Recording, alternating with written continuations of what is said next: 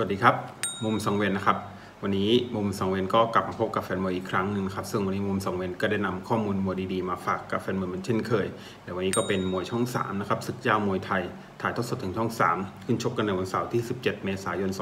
2564 นะครับ เวลา 12 นาฬิกา 20 นาทีโดยประมาณครับ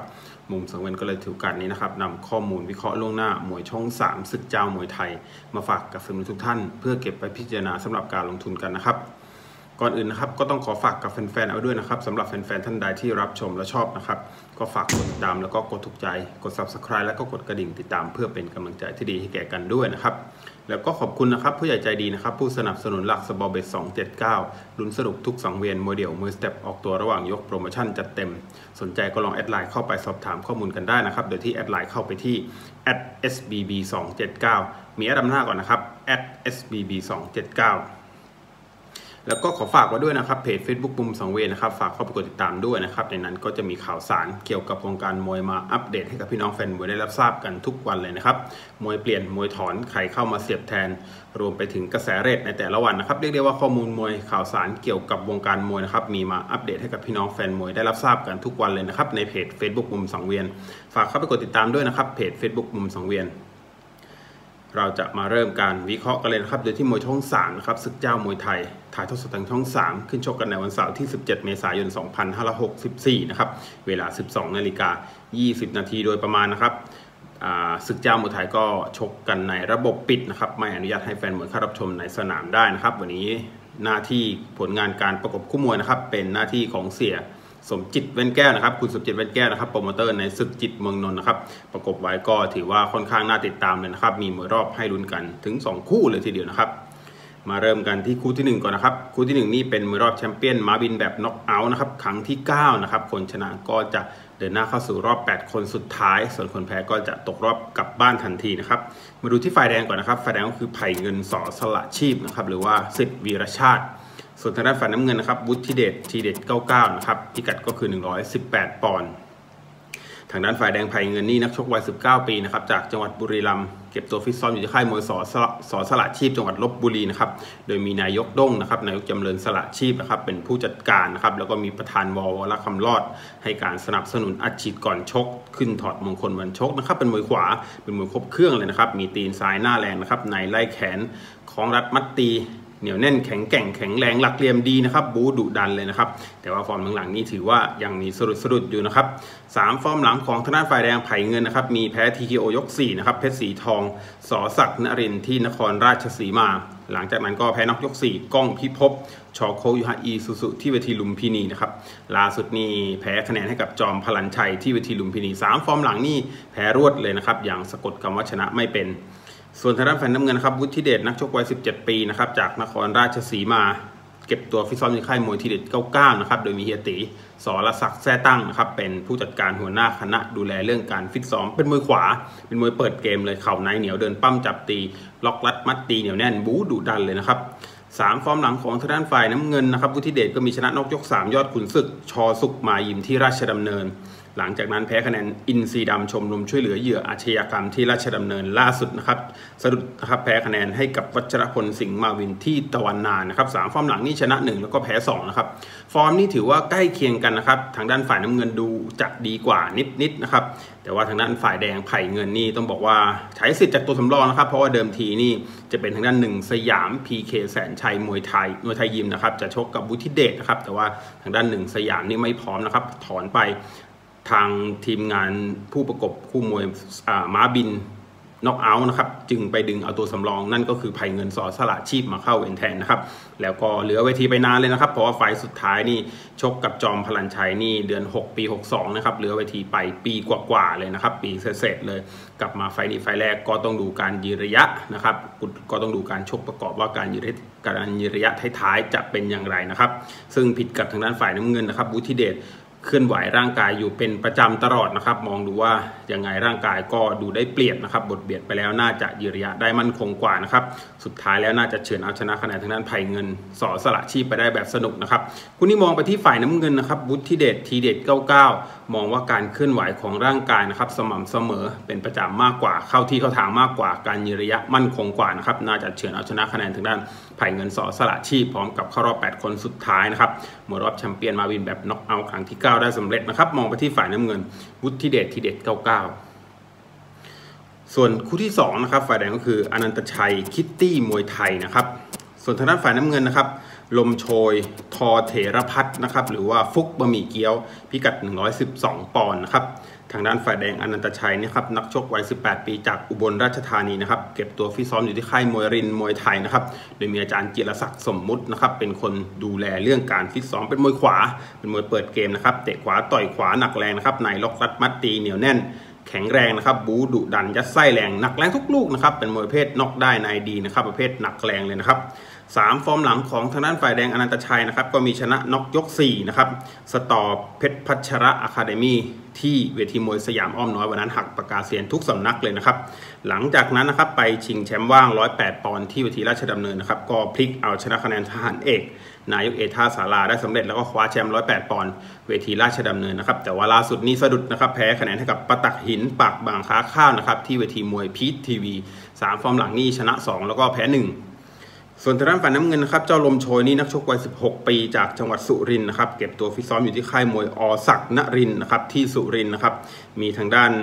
อาจารย์ศักดิ์นรินบูรณะนะครับเป็นเป็นคนดูแลเรื่องการฟิตซ้อม แล้วก็มีพันตำรวจเอกทีละเถรพัฒนะครับให้การสนับสนุนเป็นมวยขวานะครับเป็นมวยครบเครื่องเลยนะครับเตะขวาต่อยขวาหนักแรงนะครับในไล่แขนคล้องลัดมัดตีรุนแรงเลยนะครับฟอร์มนี้ก็ถือว่าสดมากๆด้วยนะครับโดยที่ 3 ฟอร์มหลังของทางด้านฝ่ายน้ำเงินนะครับลมโชยก็มีแพ้คะแนนทหารเอก นายกเอท่าสาราที่ราชดำเนินนะครับวันนั้นมาน้ำหนักไม่ดีนะครับ มาน้ำหนักไปขาดไปเกือบเกือบปอนด์เลยนะครับ สุดท้ายแล้วปะทะกันไปแล้วก็เลยแพ้คะแนนให้กับทหารเอกไปนะครับ แต่ว่าล่าสุดนะครับก็ยังโชว์ฟอร์มสวย ชนะน็อกยก 3 หินลาดเล็กลูกหินลาดที่จังหวัดสุรินทร์นะครับล่าสุดนี้โชว์ฟอร์มสวยอีกหนึ่งไฟต์นะครับ ชนะคะแนนจอมโหดเจริญเมืองมวยไทยที่เวทีมวยรังสิตสามฟอร์มหลังนี่แพ้ 1 แล้วก็ชนะ2นะครับคู่นี้ฟอร์มนี่ถือว่าใกล้เคียงกันเลยนะครับ ฟอร์มนี้ใกล้เคียงกันนะครับ แต่ว่าทางด้านฝ่ายน้ำเงินลมโชยนี่ต้องบอกว่าปี 63 นะครับชกไว้ 9 ไฟต์นะครับสะดุดแพ้เพียงแค่ไฟต์เดียวเท่านั้นเองนะครับชนะไป 7 ไฟต์แล้วก็เสมอ 1 ไฟต์นะครับมีแพ้เพียงแค่ไฟต์เดียวเท่านั้นเองนะครับดูว่าฟอร์มของทางด้านฝ่ายน้ำเงินนี่ลมโชยนี่สดมากๆเลยนะครับแล้วก็ชนกับเบอร์ใหญ่มาค่อนข้างจะเยอะด้วยนะครับคู่นี้ผมก็เลยมองไปที่ฝ่ายน้ำเงินนะครับลมโชย ทอเถรพัฒนะครับหรือว่าฟุกบะหมี่เกี๊ยวนะครับดูว่าช่วงหลังๆฟอร์มสดนี่ร่างกายดีนะครับบดเบียดไปแล้วการยืนระยะน่าจะมั่นคงกว่านะครับแล้วก็ชนกับเบอร์ใหญ่มาเยอะด้วยสุดท้ายแล้วผมมองว่าน่าจะเชือนเอาชนะคะแนนทางด้านอนันตชัยคิตตี้มวยไทยไปได้แบบสนุกคู่ขี้เลยนะครับคู่นี้มองไปที่ฝ่ายน้ำเงินนะครับลมโชยทอเถรพัฒ ส่วนคู่ที่3นะครับเป็นคู่เอกนำรายการนะครับแล้วก็ยังเป็นมวยรอบอีกหนึ่งคู่นะครับโดยเป็นมวยรอบท็อปวันมวยมันพันดุครั้งที่3นะครับมาดูที่ฝ่ายแดงก่อนนะครับ ฝ่ายแดงก็คือปาเจโร่นะครับเพชรปตอนะครับหรือว่าน้องน้องพีนะครับพยับคำพันธ์หรือว่าชัยชาญสิทธิ์แก้วประพลนะครับ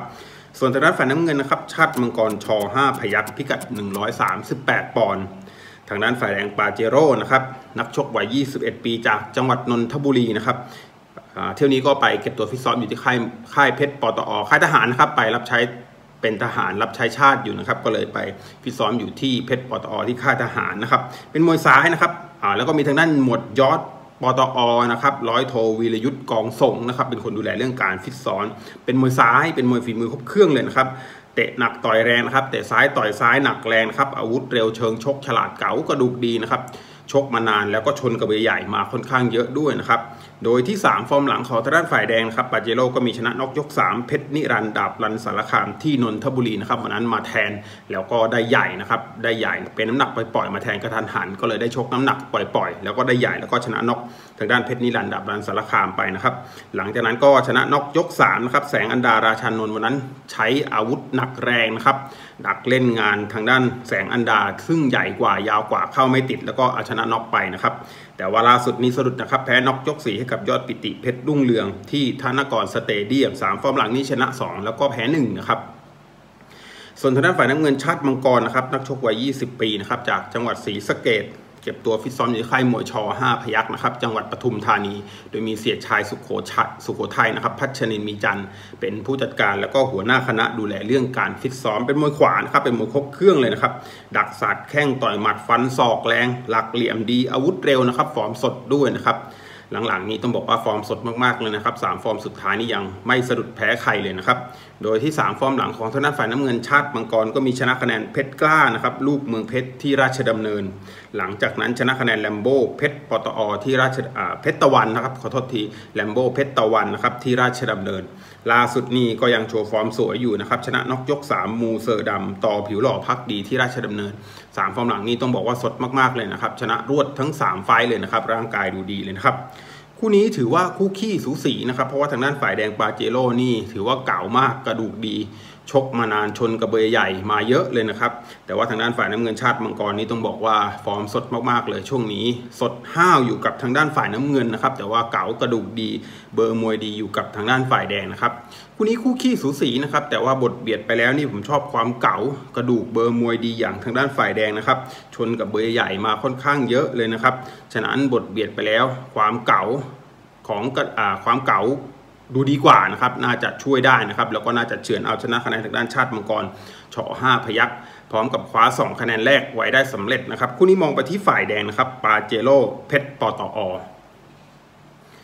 ส่วนคู่ที่4นะครับ ต้องบอกว่าคู่นี้นี่ถือว่าเป็นคู่เอกได้สบายๆเลยนะครับ เพราะว่าชื่อมวยชั้นมวยนี่ ถือว่าวันนี้เกรดมวยนี่อยู่ในระดับคู่เอกได้สบายๆเลยนะครับ คู่ที่ 4 นะครับ หลังคู่เอกฝ่ายแดงก็คือซุปเปอร์เล็กจิตเมืองนนท์นะครับ หรือว่าเจ้า6ซีเอี่ยวสิทธิ์เซียนแอ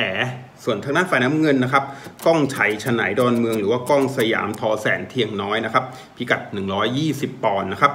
ทางด้านฝ่ายแดงซุปเปอร์เล็กนี่นักชกวัย 17 ปีนะครับจากจังหวัดขอนแก่นนะครับไปเก็บตัวฟิตซ้อมอยู่ที่ค่ายมวยจิตเมืองนนท์จังหวัดนนทบุรีนะครับโดยมีคุณสมเจตแว่นแก้วนะครับซอเอสุนทีโลหะพืชเป็นผู้จัดการหัวหน้าคณะนะครับแล้วก็มีทางด้านกุหลาบขาวณนนทชัยนะครับทีมสตาฟเทรนเนอร์ดูแลเรื่องการฟิตซ้อมเป็นมวยขวา เป็นมือเพศจังหวะฝีมือครบเครื่องเลยนะครับตีนซ้ายหน้าแรงนะครับ ดักสัตว์แข้งต่อยหมัดฟันศอกแรงนะครับเป็นมวยเพศสูงยาวนะครับในมีไล่แขนขวางแทงยัดไส้แรงนะครับหนักแรงทุกลูกหลักเหลี่ยมดี แล้วก็ที่สำคัญฟอร์มสด แล้วก็เคยเบียดเอาชนะคะแนนคู่ต่อชกคู่ต่อสู้มาแล้วด้วยหนึ่งครั้งด้วยนะครับ สามฟอร์มหลังของทางด้านฝ่ายแดงซุปเปอร์เล็กนะครับ ก็มีชนะคะแนนอยอดมงคล POK PVC ที่จังหวัดนนทบุรีนะครับ หลังจากนั้นชนะคะแนนก้องชัยชนายดอนเมืองที่นนทบุรี ล่าสุดนี้ก็ยังโชว์ฟอร์มสวยอยู่นะครับ ชนะคะแนนคีรีหลวงชอ5พยักที่ราชดำเนิน 3 ฟอร์มหลังนี้ต้องบอกว่าสดมาก ๆ เลยนะครับ ชนะรวดทั้ง 3 ไฟต์เลยสำหรับฟอร์มของทางด้านฝ่ายแดงซุปเปอร์เล็กนะครับส่วนทางด้านฝ่ายน้ำเงินนะครับก้องชัยนี่นักชกวัย 19 ปีจากจังหวัดบุรีรัมย์นะครับเก็บตัวฟิตซ้อมอยู่ที่ค่ายมวยทอแสงแสงเทียนน้อยนะครับจังหวัดจังหวัดปทุมธานีนะครับ โดยมี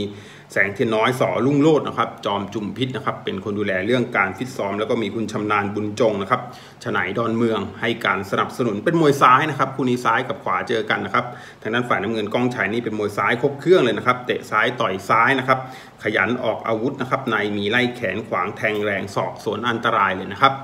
แต่ว่าฟอร์มหลังๆนี่ก็ถือว่ายังมีสะดุดสะดุดอยู่นะครับสามฟอร์มหลังของทางด้านฝ่ายน้ำเงินก้องชัยนะครับก็มีชนะคะแนนยอดพนมปอเพชรไข่แก้วที่ธนกรสเตเดียม หลังจากนั้นนะครับแพ้คะแนนซุปเปอร์เล็กจิตเมืองนนท์ที่นนทบุรีนะครับล่าสุดนี้ก็ยังสะดุดอยู่นะครับแพ้คะแนนให้กับศักดิ์ศรีหนุ่มบางกะดีที่เวทีมวยรังสิตสามฟอร์มหลังนี่ชนะ 1 แล้วก็แพ้ไปถึง2นะครับคู่นี้ถ้าเทียบกันที่ฟอร์มนี่ต้องบอกว่าทางด้านฝ่ายแดงซุปเปอร์เล็กจิตเมืองนนท์นี่ ดูได้เปรียบนะครับเพราะว่าฟอร์มสดกว่านะครับชนะรวดทั้ง 3 ไฟต์เลยนะครับ แล้วก็พลิกสถิตินะครับคู่นี้เคยพบกันมาแล้ว 1 ครั้งนะครับ ที่เวทีจิตเมืองนนท์จังหวัดนนทบุรีนะครับในศึกจิตเมืองนนท์นะครับแล้วก็ชกกันที่พิกัด 118 ปอนด์แล้วก็เป็นทางด้านฝ่ายแดงนะครับซุปเปอร์เล็กที่อาศัยบรรยากาศบนเวทีดูได้เปรียบนะครับ เพราะว่าชกในบ้านวันนั้น อาวุธคู่ขี้สุกสี แต่ว่าบรรยากาศของทางด้านซุปเปอร์เล็กดูดีกว่านะครับ สุดท้ายแล้วก็เลยทำให้เฉือนเบียดเฉือนเอาชนะคะแนนทางด้านก้องชัยฉนายดอนเมืองมาได้สำเร็จนะครับ วันนี้ถือว่าเป็นการแก้แค้นล้างตาของทางด้านฝ่ายน้ำเงินก้องชัยฉนายดอนเมืองอีกหนึ่งครั้งนะครับ มีการปรับ weight พิกัดมาเป็น 120 ปอนด์นะครับ เพราะว่าเด็กทั้งคู่นี่เริ่มร่างกายเริ่มเติบโตขึ้นเรื่อยๆนะครับ แต่ว่าก็ศึกชกใน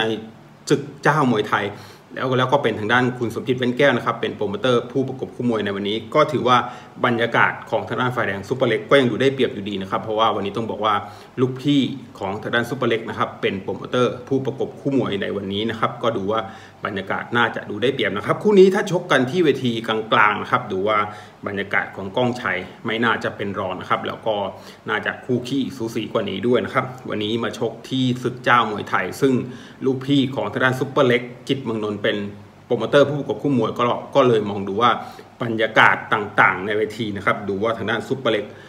จิตเมืองนนท์ก็ยังดูได้เปรียบอยู่ดีนะครับ ฉะนั้นคู่คี่สูสีนะครับ อาวุธนี่คู่คี่สูสีไม่มีใครได้เปรียบเสียเปรียบ แต่เรื่องบรรยากาศของทางด้านซุปเปอร์เล็กดูได้เปรียบดูดีกว่า ยังไงคู่คี่สูสีก็ดูได้เปรียบนะครับ เข้าก่อนน่าจะมีราคาให้ขยับขยายได้มากกว่านะครับ ฉะนั้นนะครับวันนี้ผมก็เลยมองแล้วก็ชอบไปที่ฝ่ายแดงนะครับ ทางด้านซุปเปอร์เล็กจิตเมืองนนท์นะครับ อาวุธคู่คี่สูสีนะครับ แต่ว่าเรื่องบรรยากาศดูได้เปรียบนะครับ สุดท้ายแล้วนะครับทำนิดทำหน่อยผมมองว่าราคาไหลวิ่งเร็วกว่านะครับสุดท้ายแล้วน่าจะเฉือนเอาชนะคะแนนทางด้านกองชัยชนายดอนเมืองไปได้แบบสนุกอีกหนึ่งครั้งนะครับย้ำแค้นไปได้อีกหนึ่งครั้งนะครับคุณที่มองไปที่ฝ่ายแดงนะครับซุปเปอร์เล็กจิตเมืองนนท์สำหรับวันนี้นะครับเป็นการวิเคราะห์ล่วงหน้านะครับมวยช่อง3นะครับศึกเจ้ามวยไทย ถ่ายทอดสดทางช่อง 3 ขึ้นชกกันในวันเสาร์ที่ 17 เมษายน 2564 นะครับ คู่มวยอาจมีการเปลี่ยนแปลงนะครับน้ำหนักมวยสภาพแวดล้อมต่างๆอาจมีการเปลี่ยนแปลงครับฉะนั้นมวยชอบก็อาจมีการเปลี่ยนแปลงได้เช่นกันนะครับ เราจึงต้องกลับมาติดตามกันอีกครั้งหนึ่งนะครับในเกาะติดตะช่างบวกกระแสเรทในวันที่นักมวยขึ้นชกจริงนะครับสืบให้รู้แล้วก็สืบให้ลึกว่านักมวยตัวไหนมาดีกว่ากัน กระแสอยู่ฝั่งไหนเยอะกว่ากันนะครับอย่างที่บอกนะครับข้อมูลดีข้อมูลลึกก็มีชัยไปกว่าครึ่งนะครับฉะนั้นต้องกลับมาติดตามกันอีกครั้งหนึ่งในเกาะติดตะช่างบวกกระแสเรทนะครับสุดท้ายนี้นะครับขอให้พี่น้องแฟนมวยทุกท่านนะครับมีสุขภาพร่างกายแข็งแรงสมบูรณ์นะครับปลอดภัยจากโควิด -19 นะครับอย่าลืมนะครับก่อนออกจากบ้านทุกครั้ง สวมหน้ากากอนามัยทุกครั้งหมั่นล้างมือบ่อยๆ แล้วก็เว้นระยะห่างทางสังคมนะครับ หรือว่า social distancing นะครับ ผมเชื่อว่าทำสามอย่างนี้เป็นประจำนะครับ ท่านจะปลอดภัยจากโควิด -19 ไปได้ด้วยดีนะครับ อย่าลืมนะครับ ไม่ประมาทการ์ดอย่าตกนะครับ ตั้งการ์ดขึ้นมาสูงๆเลยนะครับ เราจะผ่านวิกฤตนี้ไปด้วยกันนะครับ สังเกตได้ว่า 3-4 วันที่ผ่านมานะครับ ยอดติดเชื้อสะสมรายวันนะครับ แตะขึ้นหลักพันแล้วนะครับ ถือว่า